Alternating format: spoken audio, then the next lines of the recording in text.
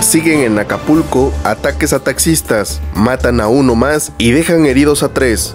Hubo dos hombres muertos más en otros hechos. Pistoleros queman dos camionetas de pasajeros, una cerca del cuartel de la Policía del Estado y la cárcel de las Cruces y otra en la colonia Arroyo Seco.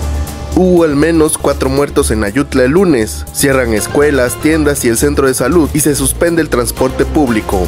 A las 3 de la tarde todo estaba cerrado y todos estaban encerrados, informaron profesores, comerciantes e integrantes de las autodefensas. Han sido tres años de retos, dice Evelyn Salgado y entrega su informe de gobierno al Congreso local. Entrega finanzas a diputados, proyecto de presupuesto para 2025 por 84.842 millones de pesos.